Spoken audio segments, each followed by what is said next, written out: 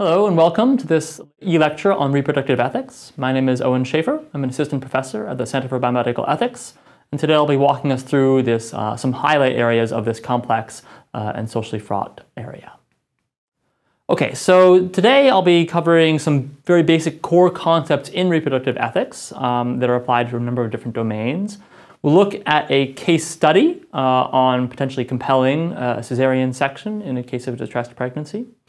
Then we'll turn into an area of substantial um, social and ethical deliberation and disagreement, abortion, and think about both the law and the ethical aspects uh, of abortion in Singapore.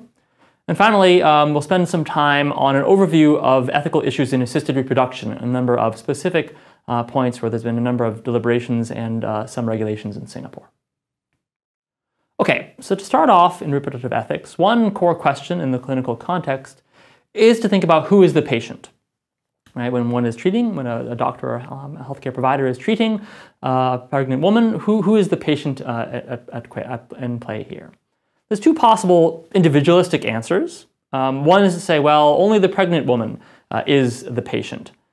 Another um, alternative is to say both the pregnant woman and the fetus are both patients together. So uh, the first option is to identify a single patient. The second option is to identify two patients that are being treated at the same time. Uh, but there's problems with both of these individualistic approaches. Okay, so the problem with the first approach, uh, treating only the pregnant woman as a patient, ignores one of the main functions of obstetrics and gynecology uh, and related treatments, is that, well, it's not just about treating the mother, um, it's also to ensure um, healthy outcomes for the fetus and for the resultant child. Uh, indeed, to focus only on the patient's well-being, uh, on the mother's, sorry, the well-being, ignores the impact of treatment on the future well-being of that child. And indeed, um, that sort of focus only on the mother might be contrary to the values and expectations of the pregnant woman who's seeking care, who's not only looking after her own well-being potentially, but also uh, ensuring the health and well-being of her child. So then maybe we should treat this as there being two patients, the pregnant woman and, and the fetus.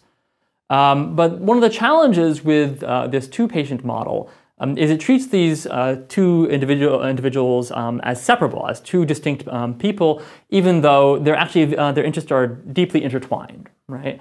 Um, the interests of the fetus and the, and the, mother cannot be really be easily separated in these uh, in, in these contexts in a way that one might do for two different patients. Indeed, it obscures the unique relationship, the gestational relationship that occurs in pregnancy, and also sets up a, potential challenge of a dilemma, of a trade-off between the interests of two different patients that might lead uh, to challenges in order to determine how to proceed in cases where the interests of the two might conflict. An alternative proposal um, that some in the literature have put forward is to, instead of taking the individualistic model, is to recognize interlinked interests. So even if we consider the fetus to be a patient, which might, might be helpful in certain contexts, uh, that we recognize these interests are interlinked and that you cannot fully separate the interests of the mother and the fetus. This dependency between uh, of the fetus on the mother um, does give rise to certain maternal rights and responsibilities. And that in turn uh, gives rise to a general understanding the primary responsibility for weighing up fetal interest, for determining those trade-offs, for assessing those, um, those factors, falls to the pregnant woman herself, right? So that the decision-making authority is vested in the mother. And this has particular implications uh, for informed consent. So on this intertwined model, decisions concerning treatment um, and, and, and, prevention during pregnancy are going to fall entirely to a pregnant woman who has mental capacity. Now, of course, there will be familial involvement in these decisions. Don't mean to obscure that. Um, and in many cases, the father will be involved uh, in care decisions and care pathways. And this may well be um, consonant with the values and priorities of the pregnant woman.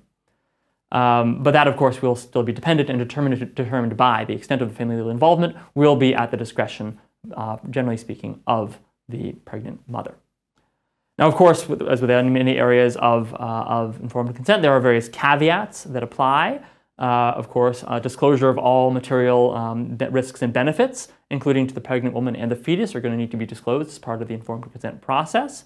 Um, and this is again assuming the patient uh, does have capacity. We'll return to the capacity question in, in a little bit with our case study. Uh, but also, just as a reminder, uh, the uh, responsibility to ensure informed consent is obtained does not mean that patients have a right to demand any treatment that they request. Um, un- unindicated treatment that does not, does not provide benefit to the mother or the fetus uh, do not need to be offered merely at request.